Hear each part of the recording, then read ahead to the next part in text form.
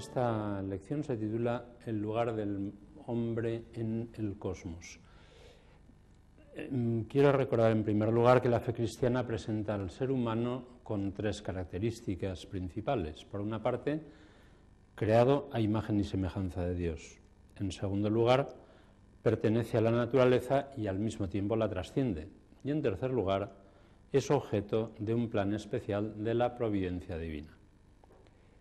Por su parte, la ciencia experimental nos proporciona nuevos conocimientos que se relacionan con la idea cristiana sobre el ser humano. También los comento en tres apartados. Por una parte, la astrofísica afirma que existen miles de millones de galaxias con miles de millones de estrellas cada una, de tal manera que la Tierra es un planeta que no ocupa ningún lugar privilegiado. En segundo lugar, las teorías evolucionistas afirman que el hombre se sitúa en continuidad con otros vivientes y que ha aparecido por un proceso de evolución cósmica y biológica lleno de coincidencias accidentales. La ciencia no se encuentra en condiciones de afirmar ni negar la existencia de un plan que haya llevado a la aparición del ser humano y que dirija su existencia. Y en tercer lugar, la neurociencia y la ciencia cognitiva avanzan en el conocimiento de los mecanismos biológicos relacionados con el conocimiento humano, la decisión y las características específicamente humanas.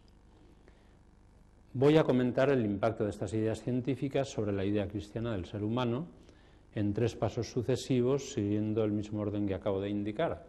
Tres apartados que he titulado Nuestra situación en el universo, Evolución y plan divino y la singularidad del ser humano. Y añadiré un cuarto apartado a modo de conclusión sobre el valor ético del progreso científico que he titulado La búsqueda de la verdad. En primer lugar, nuestra situación en el universo. Poco antes del nacimiento de la ciencia experimental moderna, el cardenal Nicolás de Cusa habló de un universo infinito. Esta idea fue recogida por Giordano Bruno en el siglo XVI e incluida también dentro de la imagen del universo de la física clásica. Además, Bruno afirmaba que existían una infinidad de mundos habitados, constituidos a semejanza de nuestro sistema solar por estrellas que poseerían planetas habitados.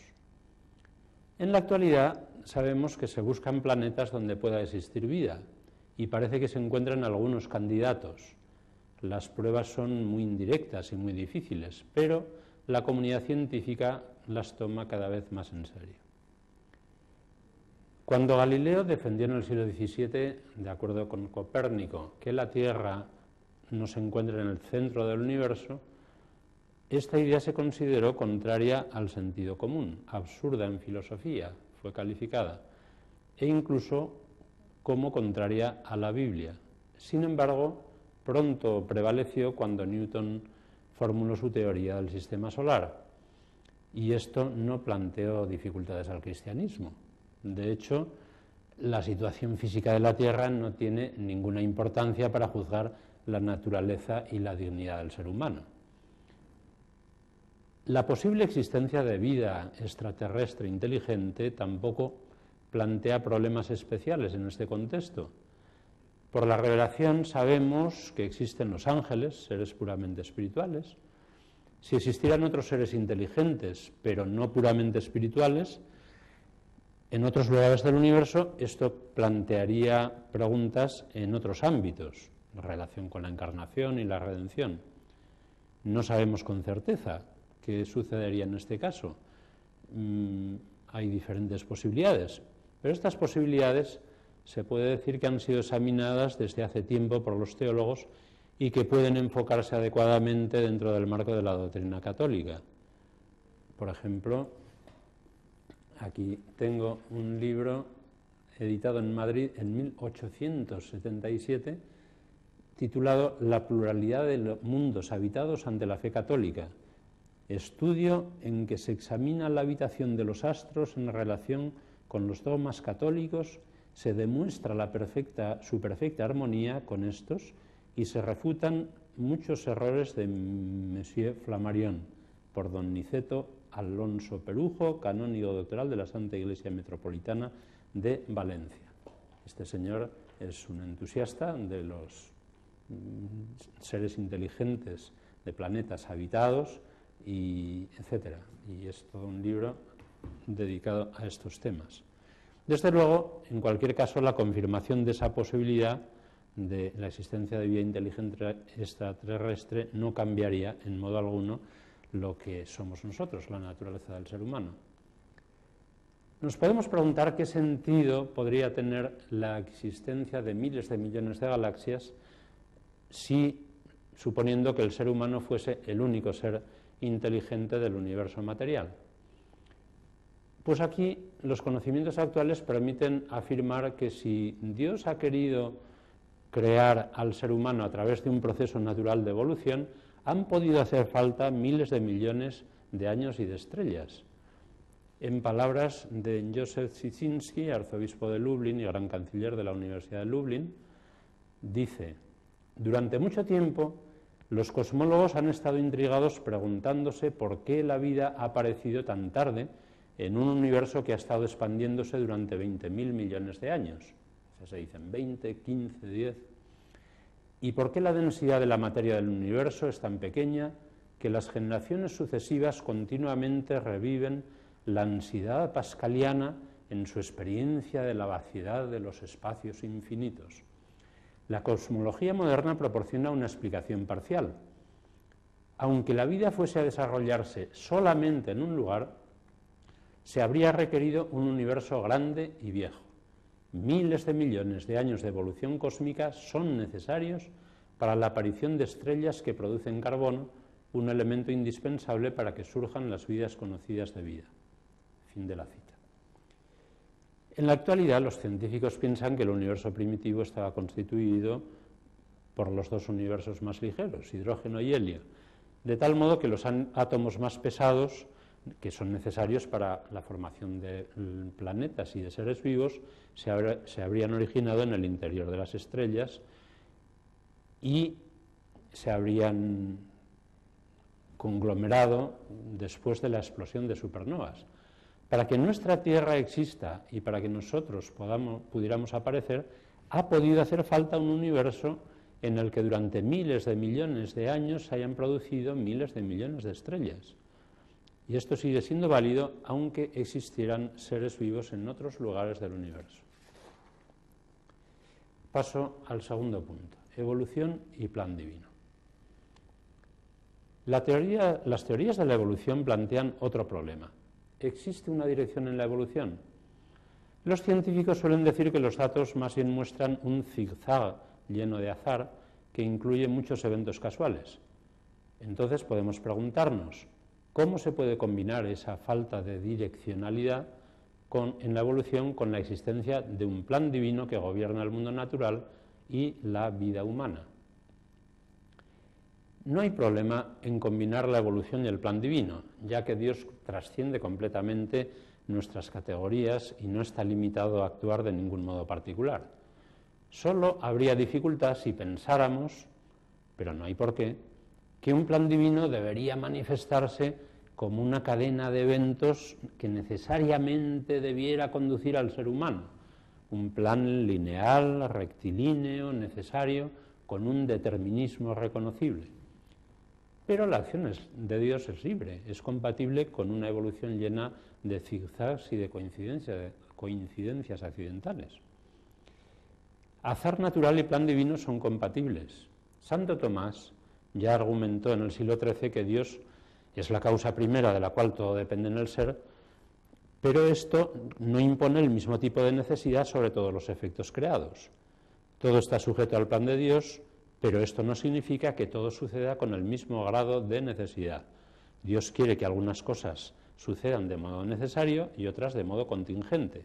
Por tanto, dice, continúa Santo Tomás, Dios prepara causas necesarias para algunas cosas y causas contingentes para otras, para que el universo pueda ser más completo. Además, la existencia de muchos sucesos contingentes se acomoda muy bien con la acción de un Dios que respeta el modo de ser y de obrar de sus criaturas porque Él mismo los ha planeado y los ha querido. Por otra parte, si se admite una evolución que incluye dosis de azar, también hay que admitir que el azar opera dentro de un conjunto de condiciones que imponen una cierta direccionalidad.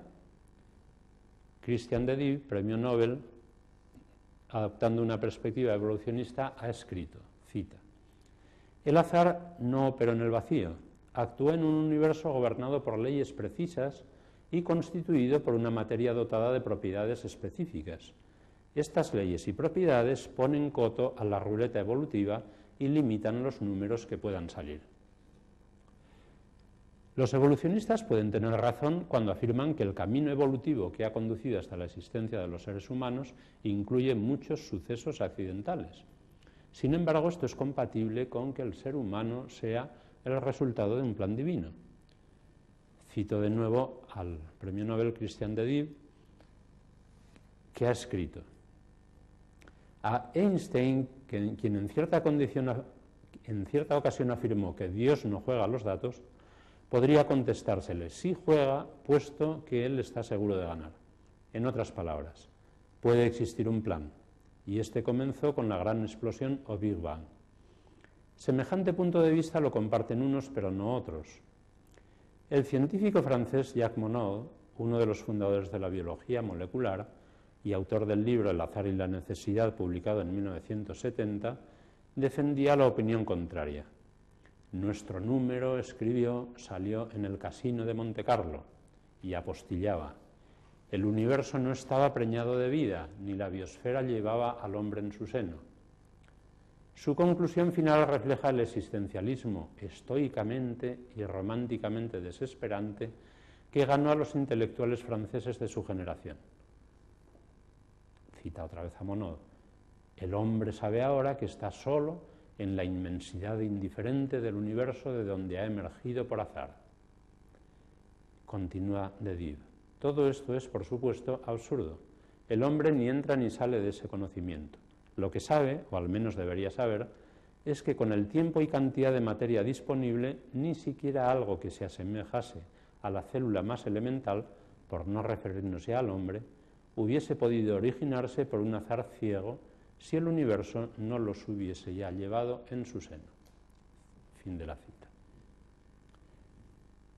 Por su parte, Karsten Brecht proporciona una comparación interesante. Imagina un piloto que se encuentra dentro de su avión en el Polo Norte y decide su ruta de modo aleatorio, utilizando una ruleta. Entonces dice que sea cual sea la dirección que siga el piloto, con una sola condición, con tal que no vuelva hacia atrás, tarde o temprano algún día llegará exactamente a un punto concreto, que es el Polo Sur. Esta comparación muestra de nuevo que las condiciones que ponen límites a los sucesos naturales pueden explicar que haya una direccionalidad en la evolución compatible con el azar. La profesora de St. John's University en Nueva York, Marie George, utiliza otra comparación que también me parece interesante. Escribe, es suerte que uno tenga una escalera de color, pero no que pueda tenerla. La baraja se ha diseñado de ese modo. También puede ser casualidad que aparezca un organismo, pero no que pueda aparecer. Y eso vale incluso si existen muchos universos. La combinación de factores que da a nuestro universo la potencialidad para que aparezca la vida, aunque solo existan aquí, responde a un diseño específico. Si no hay reinas y reyes, tener 5.000 millones de juegos de cartas en lugar de uno solo no nos acercará más a tener una escalera real. Fin de la cita. La evolución supone que se han dado unas condiciones enormemente específicas que se han ido actualizando gracias a circunstancias igualmente específicas en cada uno de los numerosísimos pasos. Teniendo en cuenta que esto ha conducido a la formación de seres enormemente sofisticados e incluso ha proporcionado la base para la aparición de seres racionales, nosotros, puede decirse que todo esto no solo es compatible con la existencia de un plan divino, sino que incluso parece exigirlo. Y con esto paso al tercer apartado, la singularidad del ser humano. La Iglesia Católica nunca ha condenado el evolucionismo. En la encíclica Humani Generis de 1950, el Papa Pío XII escribía: el magisterio de la Iglesia no prohíbe que, según el estado actual de las disciplinas humanas y de la Sagrada Teología, se investigue y discuta por los expertos en ambos campos la doctrina del evolucionismo, en cuanto busca el origen del cuerpo humano a partir de una materia viva preexistente, ya que la fe católica nos manda mantener que las almas son creadas directamente por Dios. Posteriormente, en un discurso de 1985, dirigido a los participantes en un simposio sobre fe cristiana y evolución, el Papa Juan Pablo II recordaba textualmente esta enseñanza de Pío XII y afirmaba, en base a estas consideraciones de mi predecesor, no existen obstáculos entre la teoría de la evolución y la fe en la creación si se las entiende correctamente queda claro que entender correctamente significa admitir que las dimensiones espirituales de la persona humana exigen una intervención especial por parte de Dios, una creación inmediata del alma espiritual. Pero se trata de unas dimensiones y de una acción que por principio caen fuera del objeto directo de la ciencia natural y no la contradicen en modo alguno. Más recientemente, en 1996, Juan Pablo II dirigió un mensaje a la Academia Pontificia de Ciencias reunida en sesión plenaria. Después de recordar de nuevo la enseñanza de Pío XII sobre el evolucionismo, añadió, Hoy, casi medio siglo después de la publicación de la encíclica, se refiere a la Humani Generis de Pío XII, nuevos conocimientos llevan a pensar que la teoría de la evolución es más que una hipótesis. En efecto, es notable que esta teoría se haya impuesto paulatinamente al espíritu de los investigadores a causa de una serie de descubrimientos hechos en diversas disciplinas del saber. La convergencia, de ningún modo buscada o provocada, de los resultados de trabajos realizados independientemente unos de otros, constituye de suyo un argumento significativo en favor de esta teoría. Estas palabras no significan una aceptación acrítica de cualquier teoría de la evolución. En efecto, inmediatamente después de ellas, Juan Pablo II añade reflexiones importantes acerca del alcance del evolucionismo cuando se aplica al ser humano. Y ese se puede decir que es el núcleo de este documento del Papa. Juan Pablo II dice que el magisterio de la Iglesia se interesa por la evolución porque está en juego la concepción del hombre. Recuerda que la revelación enseña que el hombre ha sido creado a imagen y semejanza de Dios.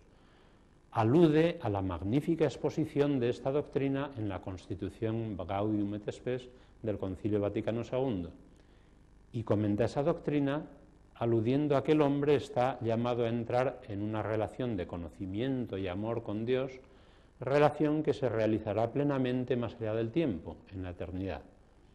En ese contexto, recuerda literalmente las palabras de Pío XII en la encíclica Humani Generis, según las cuales el alma espiritual humana es creada inmediatamente por Dios, y concluye. En consecuencia, las teorías de la evolución, que en función de las filosofías en las que se inspiran, consideran que el espíritu surge de las fuerzas de la materia viva, o que se trata de un simple epifenómeno de esta materia, son incompatibles con la verdad sobre el hombre. Por otra parte, esas teorías son incapaces de fundar la dignidad de la persona. Juan Pablo II afirma que nos encontramos en el ser humano ante una diferencia de orden ontológico, ante un salto ontológico, y se pregunta si esa discontinuidad ontológica no contradice la continuidad física supuesta en la evolución. Su respuesta es que la ciencia y la metafísica utilizan dos perspectivas diferentes y que la experiencia del nivel metafísico pone de manifiesto que existen dimensiones que se sitúan en un nivel ontológicamente superior, tales como la autoconciencia, la conciencia moral, la libertad, la experiencia estética y la experiencia religiosa. Añade por fin que a todo ello la teología añade el sentido último de la vida humana según los designios del Creador. Yo añadiría que el progreso científico proporciona en la actualidad uno de los mejores argumentos en favor de la singularidad humana, porque los logros de la ciencia ponen de relieve que poseemos unas capacidades de conocimiento muy específicas. Podemos representar el mundo como un objeto, elaborar modelos que representan determinados aspectos del mundo, construir teorías, idear experimentos para poner a prueba las teorías, valorar los conocimientos conseguidos de este modo. Y aplicar esos conocimientos a la resolución de problemas concretos. Todo ello muestra que somos seres anclados en la naturaleza material, pero que al mismo tiempo la trascendemos, que poseemos un ser personal autoconsciente capaz de buscar un conocimiento que permite un dominio controlado de la naturaleza. El progreso científico es uno de los logros más destacados del ser humano y es paradójico, por tanto, que en ocasiones se ha utilizado para argumentar que no somos más que un accidente de la historia cósmica. Por el contrario, la creatividad, la argumentación, la capacidad crítica, la interpretación, desempeñan un papel central en el desarrollo de la ciencia experimental. Y esas características suponen una imagen del ser humano que resulta muy coherente con las ideas metafísicas y religiosas que representan la persona humana poseyendo dimensiones materiales y espirituales en un ser unitario que es capaz de colaborar con Dios en el cumplimiento de los planes divinos. Solo un pequeño espectro de posiciones filosóficas son compatibles con las características que debemos admitir en el ser humano para explicar cómo funciona la ciencia. Los diferentes métodos usados por la ciencia experimental tienen en común una combinación peculiar de teoría y control empírico que requiere un sujeto capaz de combinar ambos aspectos. Además, esa combinación no puede ser considerada como una mera agregación de dos elementos diferentes. Ambos aspectos, el racional y el empírico, se encuentran estrechamente entrelazados desde el principio mismo y en cada paso del funcionamiento de la ciencia. Todo esto muestra claramente que somos seres naturales que al mismo tiempo trascendemos el nivel natural. El éxito del método científico muestra que nuestras dimensiones espirituales, relacionadas con la creatividad y la argumentación, se encuentran entrelazadas con dimensiones materiales, de modo que somos un solo ser constituido por ambos aspectos. Por consiguiente, la existencia de dimensiones humanas espirituales que se encuentran entrelazadas con las condiciones materiales puede ser considerada como un hecho corroborado por la explicación de la existencia y el progreso de la ciencia experimental. Y con esto paso ya al cuarto apartado a modo de conclusión, la búsqueda de la verdad. La coherencia entre ciencia y cristianismo aparece más clara todavía cuando consideramos las dimensiones éticas de la ciencia. La ciencia experimental es una empresa humana dirigida hacia un doble objetivo, la búsqueda de un conocimiento de la naturaleza que nos permita un dominio controlado de la misma. Por tanto, tiene sentido, sobre todo, como un medio para la búsqueda de la verdad y para servir a la humanidad. Además, el trabajo científico exige todo un conjunto de valores, tales como amar la verdad, rigor, objetividad, modestia intelectual, interés en resolver los problemas prácticos, médicos, económicos, etc., de modo que el progreso científico contribuye a difundir esos valores. La búsqueda de la verdad es un valor muy importante, central en la ciencia y en toda la vida humana. Hablando de la ciencia, el agnóstico Karl Popper observó que la búsqueda de la verdad presupone la ética. En su encíclica Fides Ratio, Juan Pablo II, en una fórmula breve y llena de contenido, escribe, se puede definir, pues, al hombre como aquel que busca la verdad. Otro pasaje de la encíclica puede fácilmente pasar desapercibido y, sin embargo, tiene gran importancia en mi argumento. Se encuentra al comienzo de la encíclica, número uno, y dice así, tanto en Oriente como en Occidente es posible distinguir un camino que a lo largo de los siglos ha llevado a la humanidad a encontrarse progresivamente con la verdad y a confrontarse con ella. Es un camino que se ha desarrollado, no podía ser de otro modo, dentro del horizonte de la autoconciencia personal. Y aquí viene el pasaje que más me interesa. El hombre, cuanto más conoce la realidad y el mundo, tanto más se conoce a sí mismo en su unicidad y le resulta más urgente el interrogante sobre el sentido de las cosas y sobre su propia existencia. Advierto que he alterado ligeramente la versión española del texto, porque el cuanto más, tanto más no se encuentra en ese texto. En cambio, se encuentra en los textos latino, polaco, italiano, alemán, inglés, francés y portugués. Parece ser una traducción no del todo afortunada de un matiz del texto italiano. Precisamente, el lugar central que ocupa la búsqueda de la verdad en la vida humana se encuentra realzado por el progreso científico, que representa un camino especialmente importante para el conocimiento de la naturaleza y por tanto para el conocimiento de nosotros mismos, del sujeto que hace ciencia. La reflexión sobre el conocimiento científico arroja nuevas luces sobre la singularidad humana. El análisis del progreso científico es uno de los mejores caminos para mostrar que somos seres naturales que al mismo tiempo trascienden la naturaleza mediante la capacidad de conocerla y dominarla, utilizando una peculiar combinación de teoría y experimentación que refleja la unidad de lo espiritual y lo material en la persona humana. Podría acabar aquí, pero voy a acabar con una pequeña anécdota.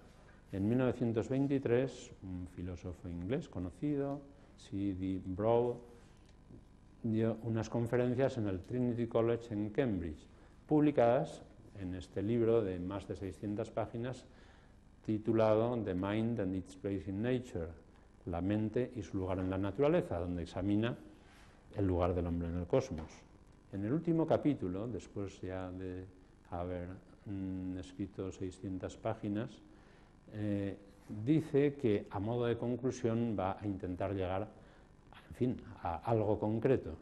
Y entonces dice que en definitiva, sobre la relación de la mente y la materia, pues hay 17 tipos posibles de teorías. Dice que son muchas y entonces las enumera una a una y, dice que va a buscar un criterio para simplificar un poquito. Entonces encuentra un primer criterio que le permite eliminar como absurdas o no interesantes cuatro. Ya solo tenemos 14. Entonces ya después de bastantes páginas consigue eliminar otras y ya solo se queda con 11 y después prosigue todavía muchas páginas en el capítulo sin llegar a ninguna conclusión particular. Yo diría que esto, el hecho de que precisamente seamos capaces de argumentar que se pueden proponer 17 teorías, luego 14 y luego discutir 11 una por una sobre la mente y la materia, es una, de las, una prueba bastante concluyente de que mm, ocupamos un lugar absolutamente singular en el cosmos, que formamos parte del mundo material y natural, pero que al mismo tiempo lo trascendemos.